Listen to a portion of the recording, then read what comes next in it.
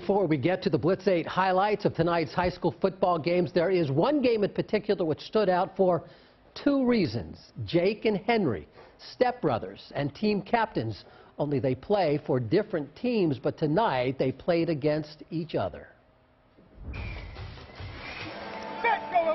One plays for Cape Elizabeth, number four. The other, number 12, for Gray New Gloucester. Seniors Henry Schroeder and his stepbrother, Jake Zeisler, actually have played against each other since seventh grade.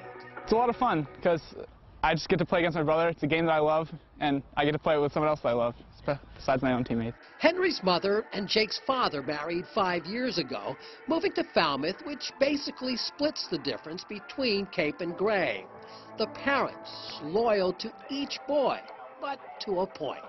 She would like Cape to win. Not that she wants Gray to lose. She wants Cape to win. And I would say the same thing.